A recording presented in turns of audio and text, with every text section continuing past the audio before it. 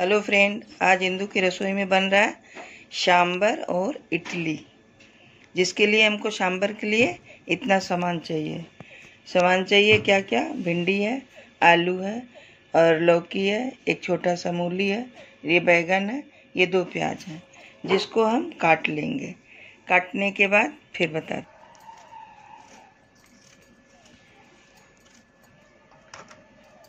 ये हमने सारी सब्ज़ियाँ इसको काट लिया।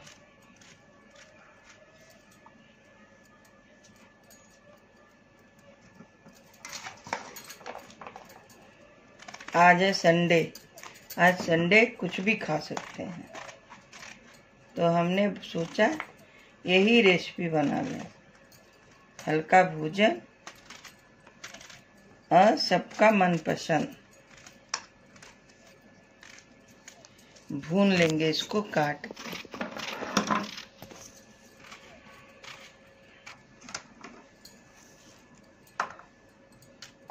थोड़ा बड़ा बड़ा काटेंगे भिंडी को, ताकि लेस ना छोड़ दें। इतनी बड़ी ठीक है।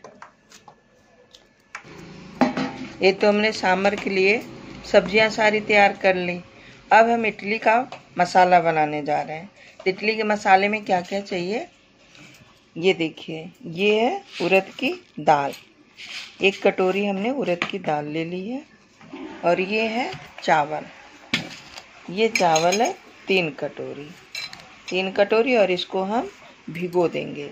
भिगोने के बाद पीस के बताते हैं। और ये जो हमने उड़द और चावल जो दिखाया था ना वो हमने अब मिक्सी में पीस लिया। ये देखो, इतना गाढ़ा, ताकि ये कलछी छोड़े ना। ज़्यादा पतला नहीं होना चाहिए, नहीं तो वो बहने लगता है। अब इसको हम चलते हैं रसोई में, बनाते हैं। फिर खिलाते हैं। हमने सब्ज़ी सांबर के लिए काट लिया था, उसके लिए, सब्ज़ी तड़कने के लिए।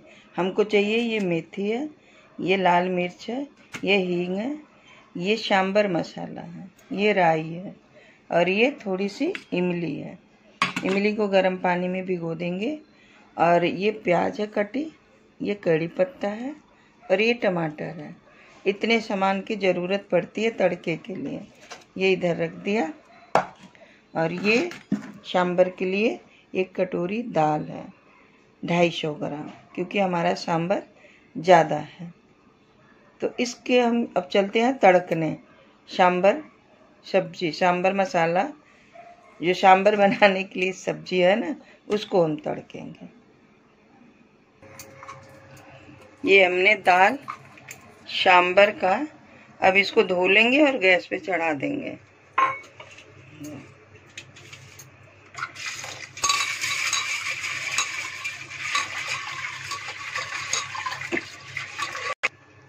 अभी हमारी दाल धुल गई अब इसमें पानी डालेंगे। मतलब दो गिलास पानी डाल दो, फिर इसको हम गैस पे रख देंगे।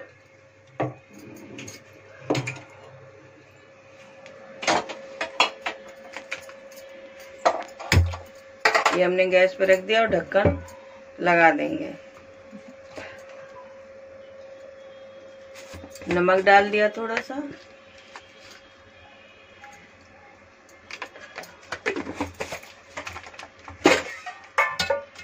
हल्दी डाल देंगे।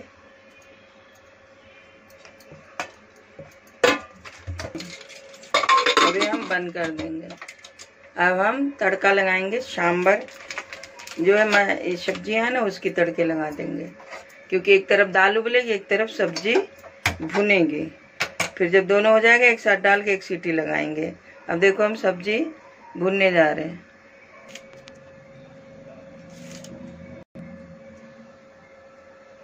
ये तेल हमने डाल दिया। दो चम्मच तेल। गरम तेल अभी नहीं हुआ है।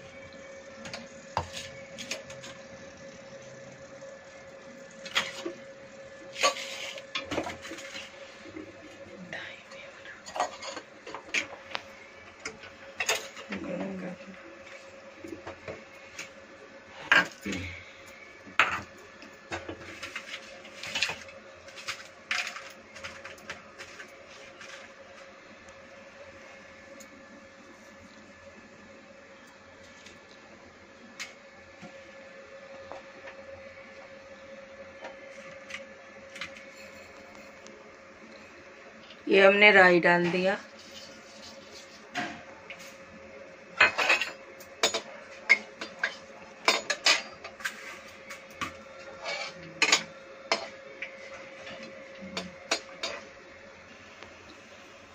अब हम डाल रहे हैं इसमें मेथी। राई हमारी लाल हो गई है। हम दिखा नहीं पा रहे हैं, थोड़ा सा छोटी दोस्तों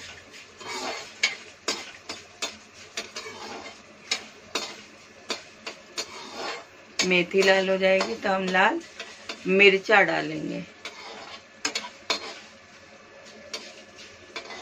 जब तक हम इमली को भिगो दे रहे हैं। ये फूलने में भी टाइम लगता है ना? फिर उसके बाद हम आते हैं। ये हमारा तड़का लाल हो गया। अब इसमें डालेंगे लाल मिर्च।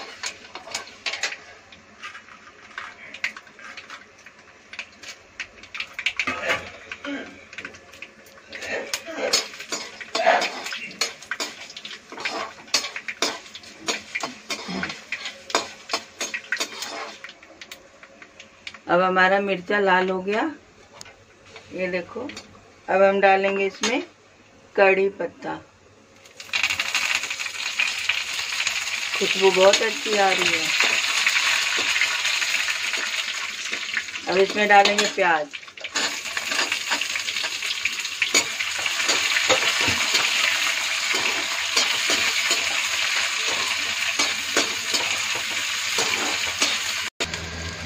ये प्याज हमारा थोड़ा सा थोड़ा सा ही हम कच्चापन रखेंगे क्योंकि सांबर में प्याज मोटा मोटा जीप के नीचे आना चाहिए।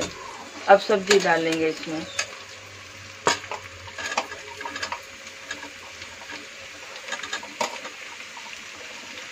सारी सब्ज़ियाँ इकट्ठा ही भून लेंगे।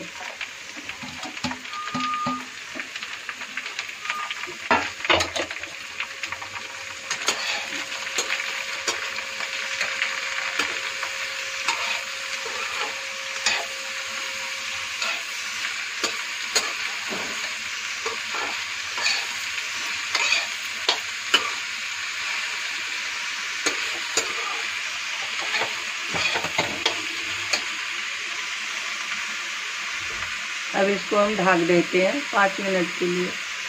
फिर इसमें जो होगा मसाला वगैरह डालेंगे।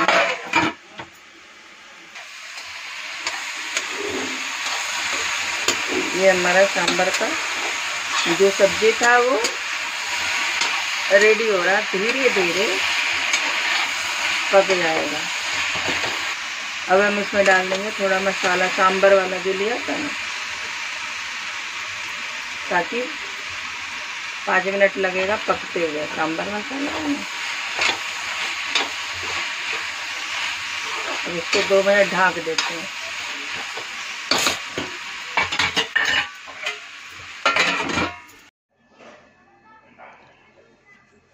अब हमारी ये दाल जो हमने उबालने के लिए रखे थे ना, वो पक के तैयार हो गए अब इसमें हम डालेंगे जो भुनी हुई हमारी सब्ज़ी थी। सांबर वाली दाल है ये। अभी हम जो हमारी सब्ज़ी देखो, भुन गई है ऐसे। रुको।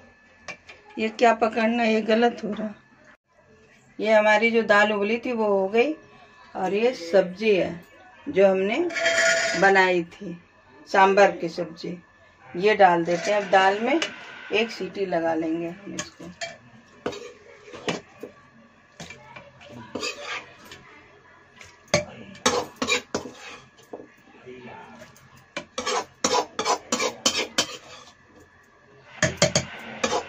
इसमें सारी सब्ज़ियाँ हम डाल के अपने हिसाब से पानी करेंगे, जितना गाढ़ा पतला खाना है।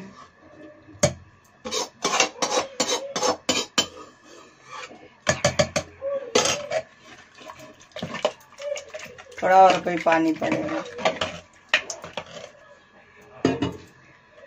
ये और हम पानी, अभी गाढ़ा लग रहा पानी डाल देते हैं। इमली का ये जो गूदा था, हमने इमली भिगोया था ये गूदा निकाल लिया। इसको डाल देते हैं।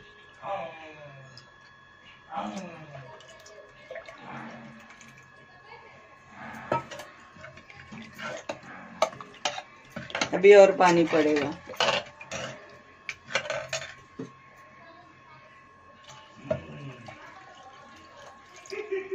अब पानी हो गया। ये अब हम गैस पे रख दिया। अब इसको हम बंद कर देते हैं। ढक्कन लगा देते हैं। एक सीटी जब तक आएगी, तब तक हम इडली का बर्तन उतार के साफ़ कर लेते हैं। हेलो फ्रेंड, इडली और सांबर जो बनाया था, उसके साथ जब तक नारियल की चटनी ना हो तो मज़ा किरकिरा हो जाता है। तो ये हमने नारियल छोटे छोटे पीस काट लिए हैं। और ये थोड़े से हम डालेंगे मूंगफली मतलब बारह चौदह पीस। और ये मतलब एक मुट्ठी चने। चने से जानते हो क्या होता है? थोड़ा सा मतलब लहसुन पकड़ लेता और ये दो ही हरी मिर्च, क्योंकि हम लाल तड़का मिर्च से लगाएँगे, लाल मिर्च से। अब इसको हम पीसते हैं। ये जार रख दिया नारियल की चटनी ऐसे बनती है। ये भी हम डाल देंगे उसी में।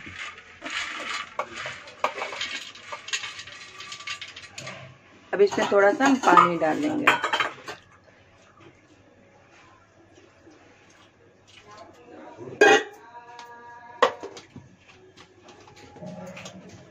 अब इसको मिक्सी चला देते हैं।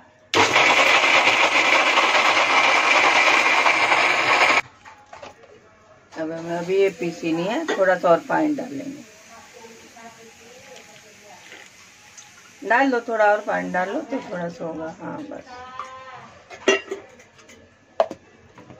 अच्छे से पिस जाएगी ना।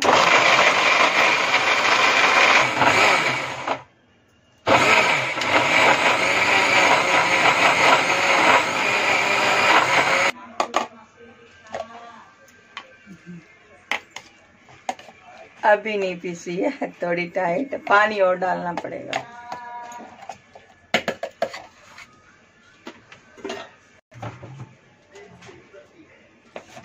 ये लास्ट में डाल के एक बार नमक डाल दो लास्ट में क्यों डालोगे?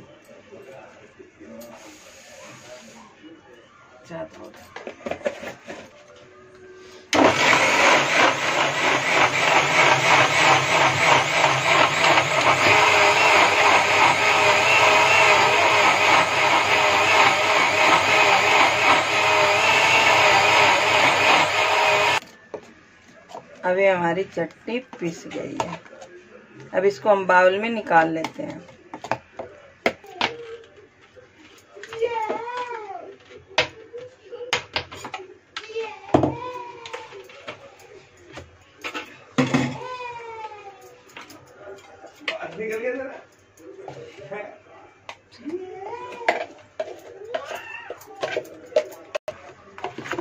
अब देखो ये सही है ये देखो अच्छा बना, बहुत टेस्टी अभी तड़का लगा देंगे और टेस्टी बन जाएगी। अभी हमें चटनी के लिए तड़का लगा रहे हैं। थोड़ी सी कड़ी पत्ता है, दो लाल मिर्च है और राई ये हम डाल दे रहे हैं रिफाइन।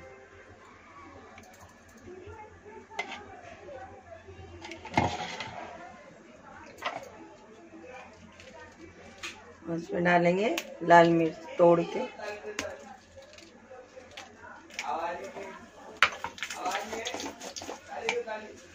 थोड़ी सी राई डाल दिया।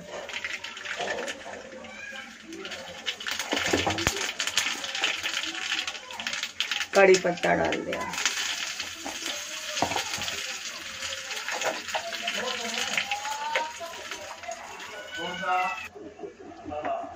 अभी हमारा तड़का तैयार हो गया।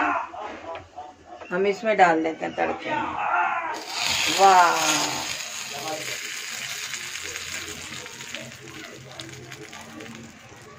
देखो कितना स्वाद लगेगा।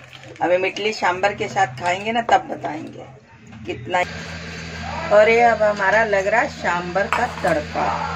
सांबर हमारा उबल चुका है। और ये देखो, रिफाइंड डालेंगे एक छोटा चम्मच।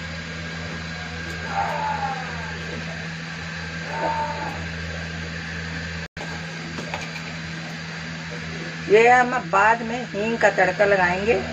जिससे हमारी खुशबू पूरी पूरी घर में महक जाए। ये है राई। थोड़ा लास्ट में लगा देंगे ना, बघार देंगे। जिसको बोलते हैं तो उसका टेस्ट कुछ अलग ही आ जाता है। अब फिर इसे कड़ी पत्ता डाल देते हैं थोड़ा सा सब्ज़ी में भी डाले तो ये ताज़ी खुशबू आएगी ना इसके लिए। एक हाथ लाल मिर्च डाल दिया खड़ा।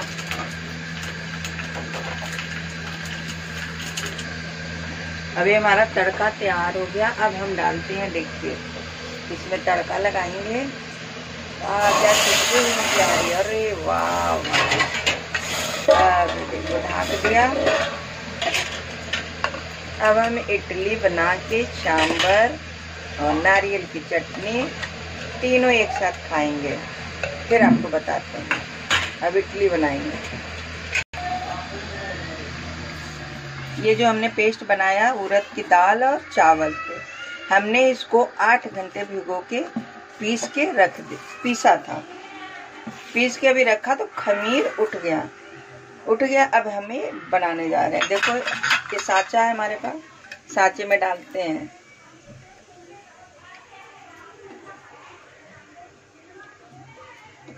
क्या बना है एक एक कलछी।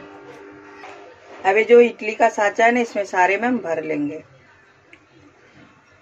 भर के फिर इसका जो कुकर है, आप कुकर में भी जिसमें खाना बनाते हैं, पाँच लीटर के कुकर में भी तीन लीटर के अलग से सांचे ला सकते हैं। और हमारे पास ये इडली का कुकर है। उसमें हम बनाएँगे। ये साचा है ना, ये तीन, चार का साचा है हमारे पास। आप इसको जो स्टैंड है ना ये ये कुकर में भी रख के बना सकते हो। अगर आपके पास इडली का कुकर नहीं है तो। इसको लॉक कर दिया। अब ये हमारा ना इडली का कुकर है ये देखो। इसमें हमने पानी डाल दिया। पानी डाल दिया ये उबल रहा पानी। अब इसमें हम डालेंगे ये सांचे। इसको 10 मिनट सीम आँच पे पकड़ने पकने देंगे। ये डाल दिया। और इसको हम ढाक देंगे। इसमें लग जाएगी सीटी 10 मिनट में ये। अगर आपके पास ये नहीं तो ऐसे कुकर में भी डाल सकते हो, सीटी लगा दो। ये हमारी सांबर इडली और इसकी चटनी, नारियल की। तैयार हो गई है। अब ये खाते हैं हम। फिर बताएँगे टेस्ट कैसा। चलिए आप भी खाइए। मज़े लीजिए और लाइक सब्सक्राइब ज़रूर करिएगा। बेल आइकन को दबाना मत भूलिएगा। जय माता की